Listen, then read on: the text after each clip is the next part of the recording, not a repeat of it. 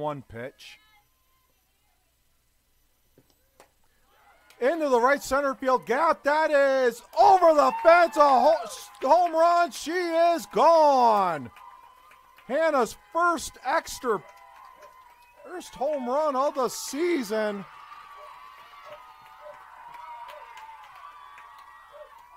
A two run homer.